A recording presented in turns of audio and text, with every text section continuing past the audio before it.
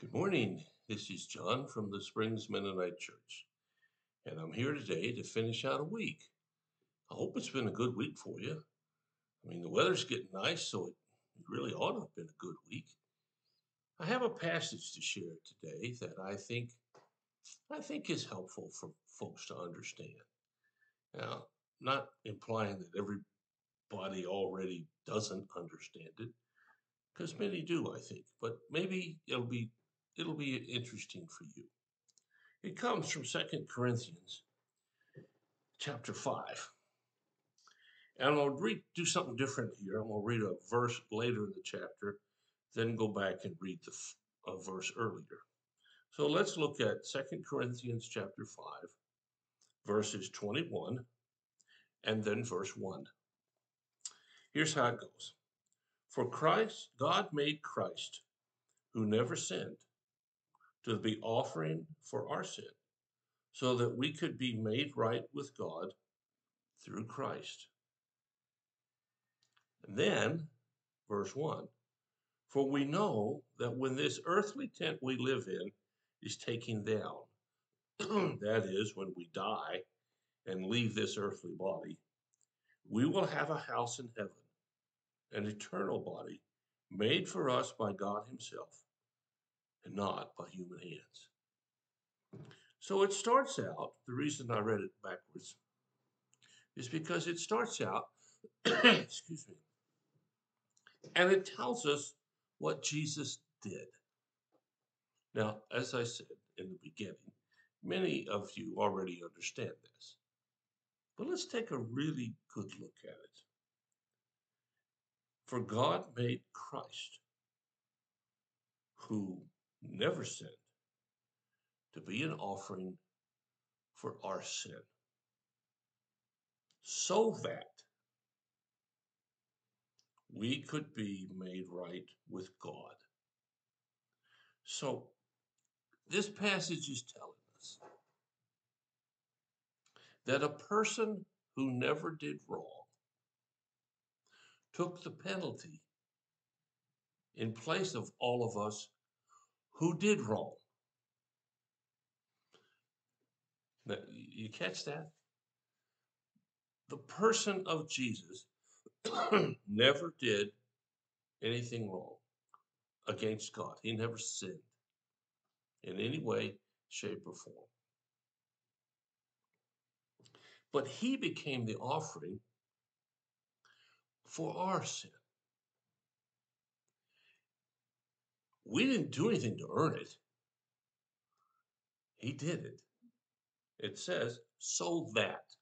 It's important sometimes to look at scripture when it says, so that or because of. And what is that related to?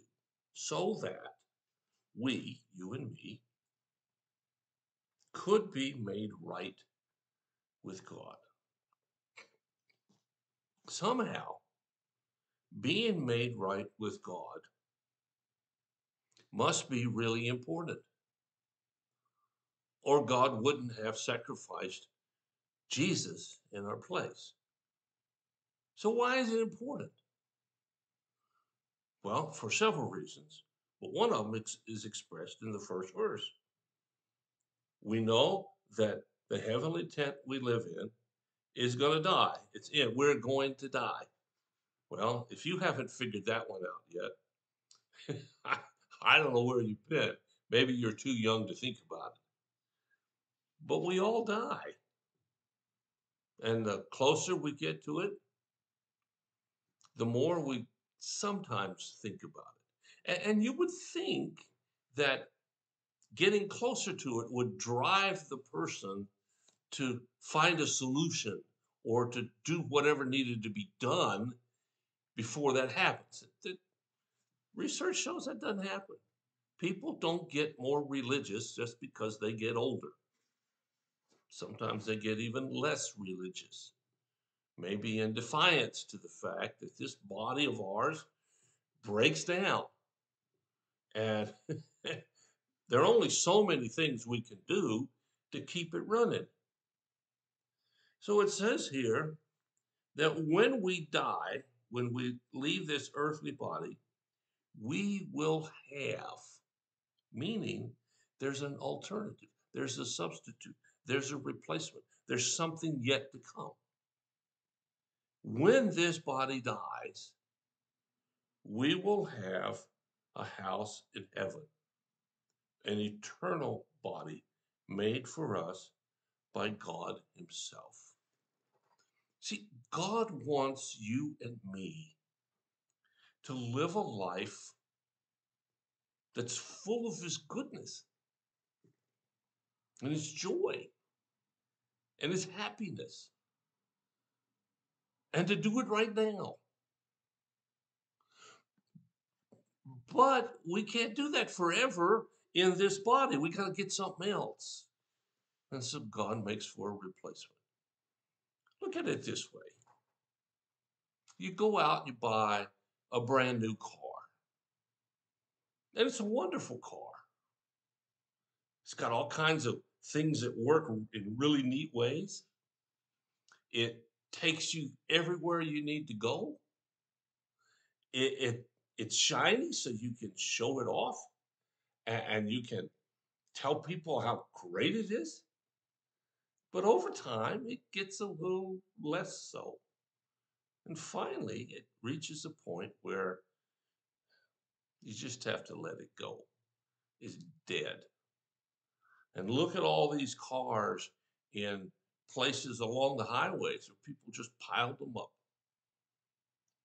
At one time, they were a shiny, brand new car, exciting people to own. But now they're just junk. Well, that's how this body is. But that isn't the end of the story. God doesn't want the story to end when we turn into junk. but in order to get to the new body, which is in heaven where He is, and there can be no sin in God's immediate presence like heaven, there had to be a way to take away yours and my sin. There has to be a way to resurrect that junk car. And the way is Jesus offering himself for us.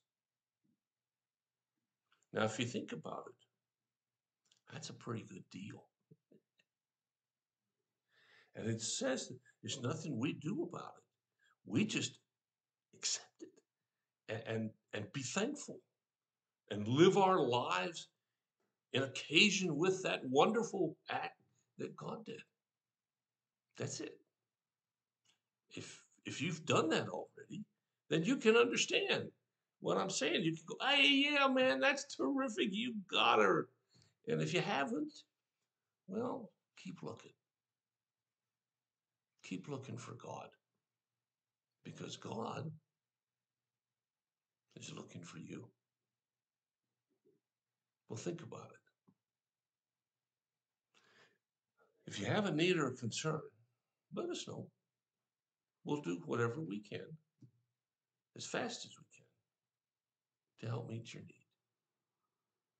Thank you so much for listening today and this week.